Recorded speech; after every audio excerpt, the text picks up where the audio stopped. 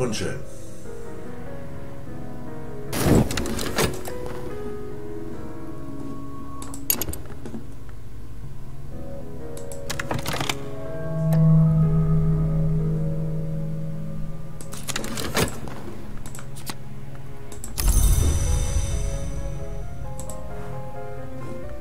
Ich habe aber auch nur 60 Sekunden. Das heißt, wenn ich jetzt meine Rastlosigkeit verbrauche,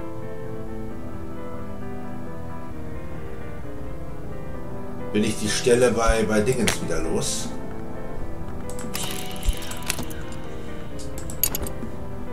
Aber das Risiko gehe ich ein.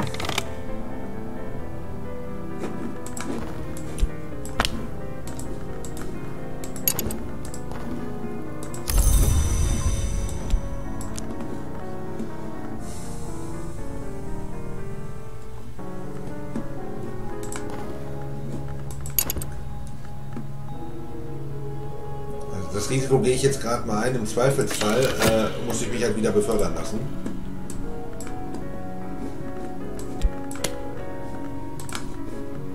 So, mal gucken, wie es hier jetzt weitergeht.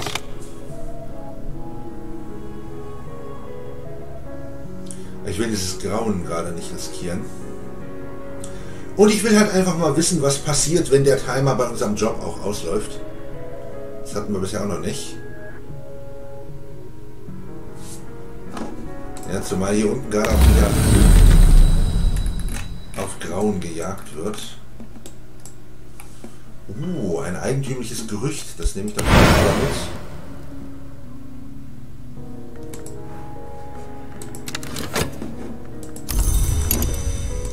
Kriegen wir zwar wieder Berüchtigkeit.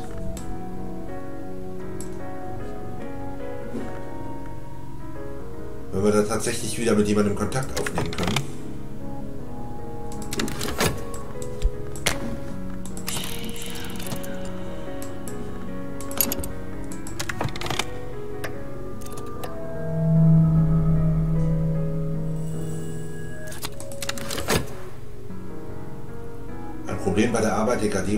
Assistenzstelle. Meine Abwesenheit im Büro wurde bemerkt. Ich wurde degradiert und muss dem Chef gut zureden, um meinen Job zu behalten.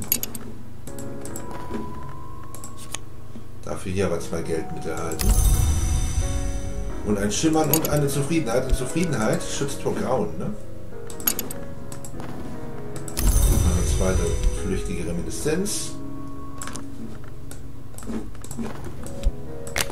Ich gehe dem eigentümlichen Gerücht mal nach.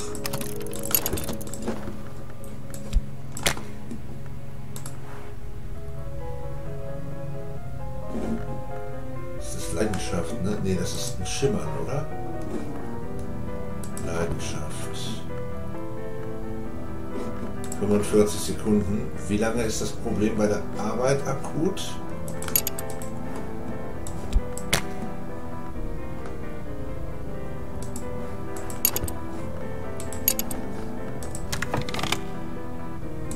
Steht nichts dabei, ne?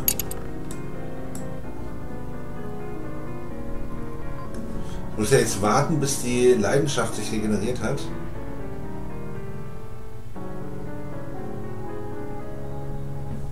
Oh, und ich habe keine Vitalität mehr in der Hinterhand, sehe ich gerade. Die löst sich jetzt in Wohlgefallen auf. Jetzt, jetzt begreife ich. Oh, da bin ich ja sehr gespannt, in welche Richtung das dann noch führt.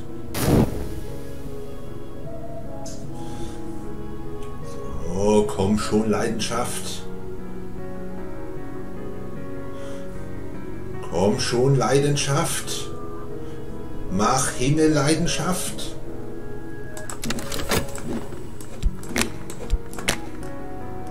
Kein angenehmes Gespräch, aber vielleicht dringend nötig. Ich brauche ja das Geld, das ist ja das Problem. Ne? Das, ich habe halt zweimal Leidenschaft gleichzeitig verbraucht, das ist dann schief gelaufen. Das Wasser, die Wasser des Forstes fließen kalt und tief, doch niemals klar. Nur auswendig gelernte Erinnerungen werden mich nicht dorthin führen.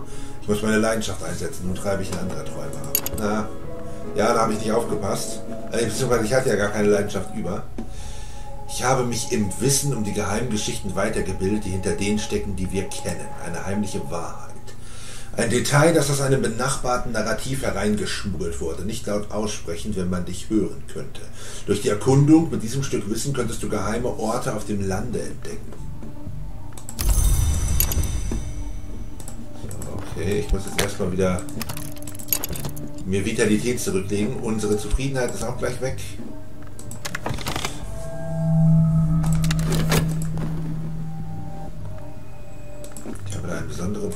Es an der Zeit, dass wir unsere Bande erneuern. Oder bin ich ja gespannt. Eine wenig verheißende Adresse, aber ein vielversprechender Bewohner. Neville, eine Bekanntschaft. Neville hält inne, bevor er spricht, und er zuckt schnell zusammen.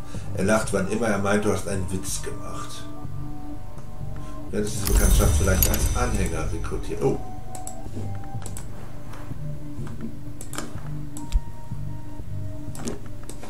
So, das sind zwei Bekanntschaften, die wir potenziell rekrutieren können. Manche Tage sind besser als andere. Manchmal ist der Himmel nichts als ein schmutziges Laken, manchmal fließt der Fluss ganz klar. Zufriedenheit, okay. Die Berüchtigkeit, die hält halt auch so ewig lange, ne? Och, leck mich doch am Arsch!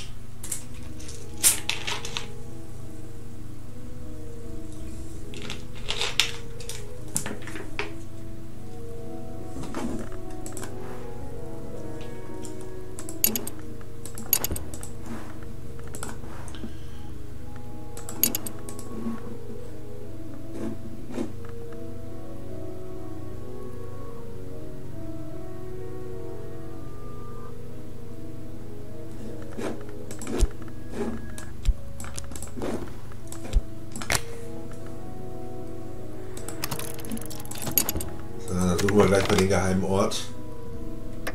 Ah, es entwickelt sich gerade. Heute Nacht träumte ich von einem Museum. Das entwickelt sich gerade wieder in eine blöde Richtung, weil diese dämlichen Detektive so ein beschissenes Timing haben. Und dann wird das automatisch ausgelöst, dass dann dieses Zeitalter der Überwachung kommt, wann immer ich Gerüchtigkeit habe. Würde ja irgendwo Sinn machen, ne? Aber ist auch ein bisschen fies. Was kann ich denn gegen Berüchtigkeit machen, um die relativ schnell loszuwerden?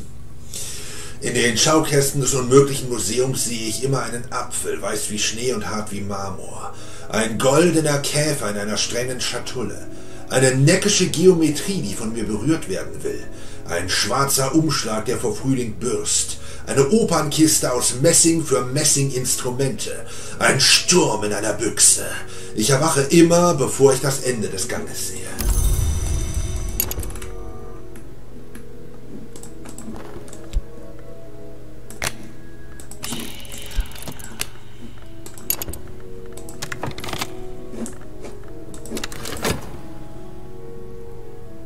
Eine zweite Chance angeboten worden. Offenbar habe ich dankbar zu sein.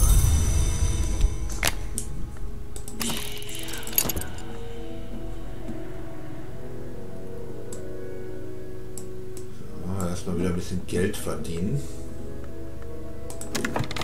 Meine Leidenschaft muss ja sich erstmal regenerieren.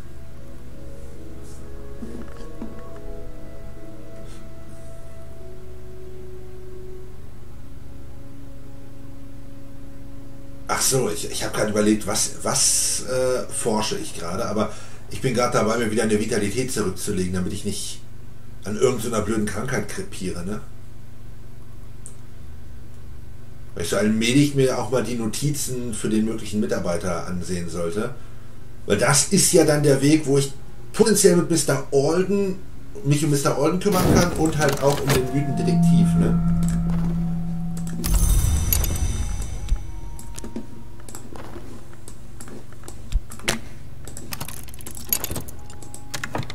Und halt äh, dann irgendwann auch die Möglichkeit sprechen auch freischalte.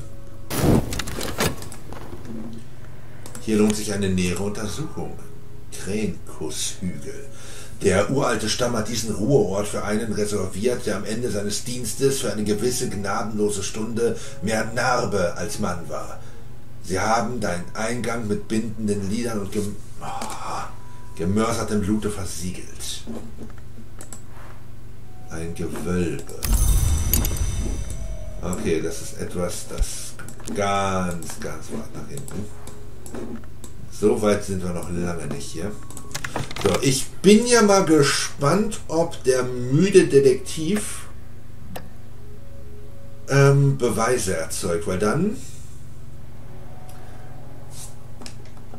muss ich mich definitiv erstmal ein bisschen zurückhalten. Ein Summen im Hirn.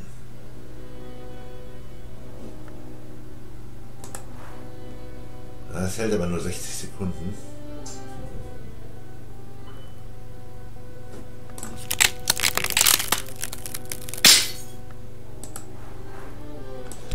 Das Gerücht allerdings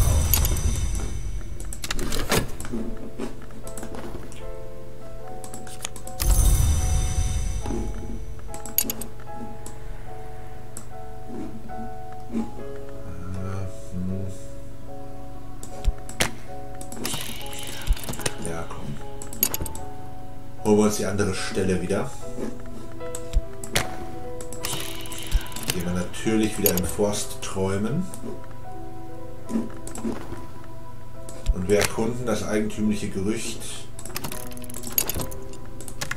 um vielleicht noch eine Bekanntschaft zu machen. Die verfallen ja nicht. Das ist das Gute. Diese Bekanntschaften verfallen nicht. Ich habe jetzt eine Adresse. Ich werde einen Brief schicken und ein Treffen vorschlagen. Gespräch ist freigeschaltet. Und Mystik. Mystik ist ja etwas, äh, was potenziell Jäger anlockt, aber wir haben ja eh schon einen Jäger da.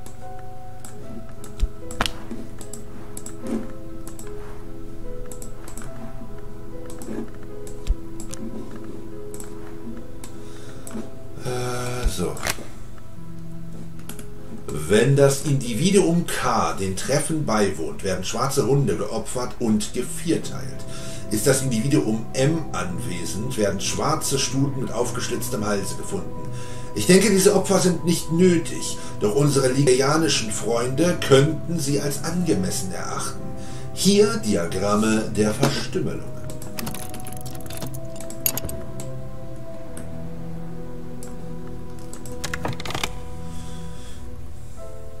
So, jetzt wird erstmal spannend, ob der Detektiv Beweise produziert. Das wäre nämlich sehr ungünstig. Hat ein Jäger Berüchtigsein entdeckt, wird er versuchen, damit Beweise zu erzeugen oder zu verbessern. Ist er akkurat, hat er immer Erfolg. Ist er launisch, wird er eher scheitern. Doch gelegentlich kann er auch ohne Berüchtigtsein noch Beweise erzeugen. Ja, und ich werde ja da oben dann wahrscheinlich auch gleich das, das nächste Berüchtigtsein erzeugen. Das Gute ist nur,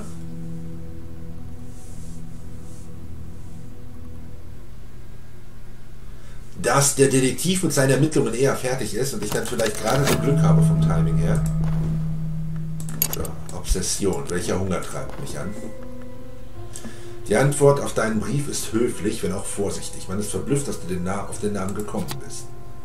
Clovette, eine Bekanntschaft.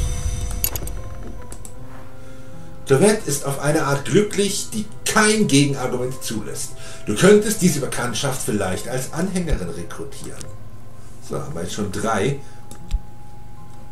Potenziell ja gleich sogar vier.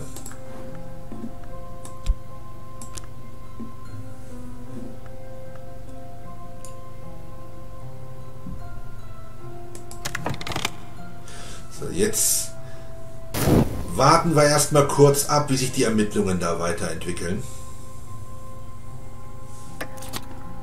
Ah, der hat was erzeugt, oder?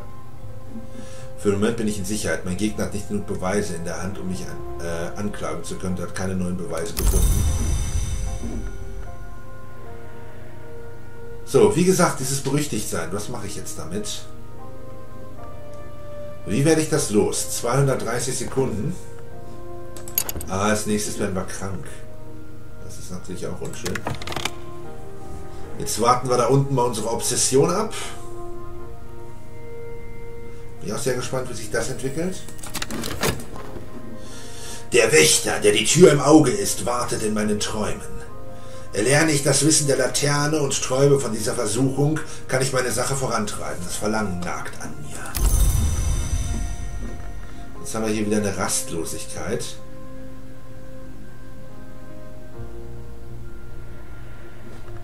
Okay, da muss ich gleich mal was probieren. Da habe ich nämlich auch einen kleinen Tipp gekriegt.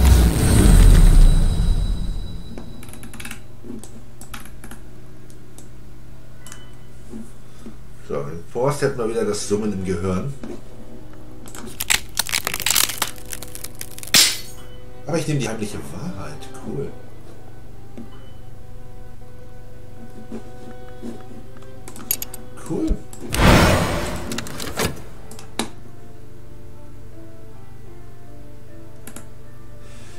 Schlafe gelangte ich zu jenem hohen, schartigen Felsen, der immer noch Tempel des Rades heißt, obwohl die Stunde namens Rad schon längst ausgestorben ist.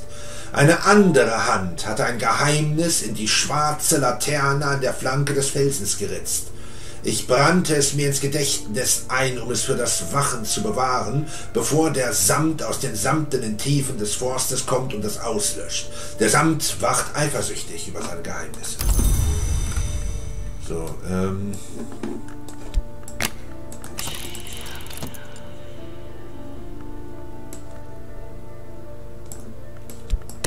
Kann ich auch mit dem okkulten Zettel träumen? Das ist ja cool. Das probiere ich jetzt mal aus. So.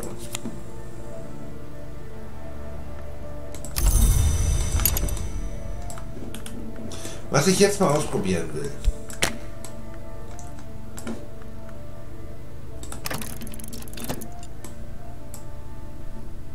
Jemanden, mit dem ich arbeiten könnte, einen Gefährten oder einen Anhänger. Zuerst muss ich überhaupt für etwas sorgen, dass man, dem man folgen kann, eine Gesellschaft, eine Bruderschaft, einen Orden. Ich, ich, eigentlich möchte ich nur mit ihr reden über unseren Job, damit ich den nicht gleich wieder verliere. Weil ich nämlich die Rastlosigkeit ganz gerne loswerden würde und wieder durchmalen.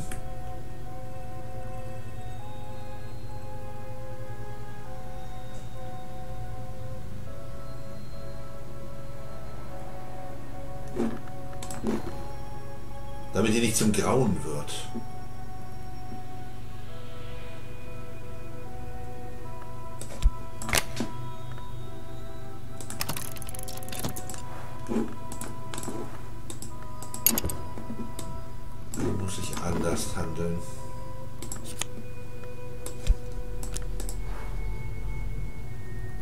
Schön manipulierbar, aber nur wenig Potenzial. Ein Mitläufer. Du kannst diese Bekanntschaft vielleicht als Anhänger rekrutieren. Und wir haben wieder berüchtigt sein gesammelt. Das ist, äh, das wird mir wieder in den Arsch beißen. Ich sammle hier viel zu viel berüchtigt sein. Ich sollte mich demnächst, was das angeht, vielleicht wirklich erstmal wieder zurückhalten, bis wir das alles losgeworden sind. Medusas Rätsel dann möchte ich als Was wird nicht geschehen stellen. Es gibt noch ein weiteres Rätsel, das ich als Was kann verloren gehen gehört habe.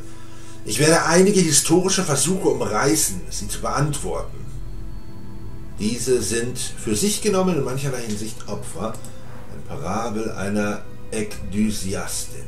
Das Rätsel der Ekdysiastin lautet, was kann verloren gehen? Jede Parabel der Ekdysiastin ist der Versuch, das Rätsel zu beantworten. Aspekt Motte Level 6. Aspekt erfordert Intuition. Aspekt Wissen.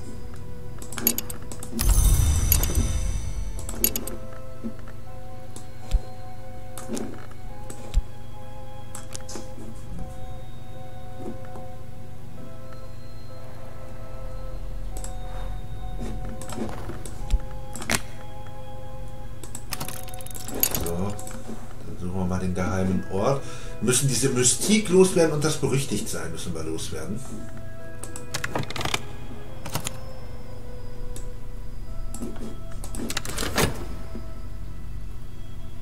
Ich habe mit meinem wahren Werk begonnen.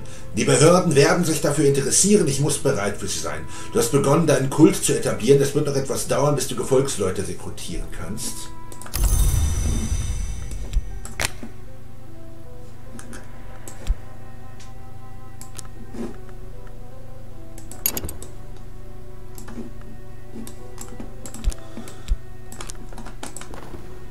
Tradition und Zwang, alt, neu oder beides zusammen. Für Gewissen hinzu den Grundprinzipien deines Kultes festzulegen. Das hat aber noch Zeit, ne?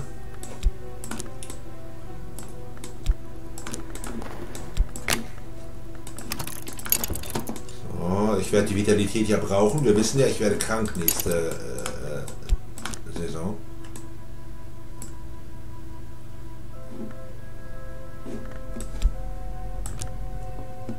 ...300 Sekunden sind... 5 Minuten. Sind das 5 Minuten? Ja, doch, 5 Minuten, ne? Fünf Minuten, die ich jetzt mal versuchen sollte, irgendwie unter dem Radar zu fliegen, um den ganzen Scheiß erstmal wieder loszuwerden. Und äh,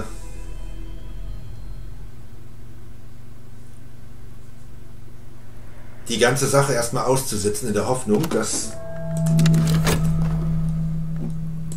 halt nicht so schnell eine neue Ermittlung startet.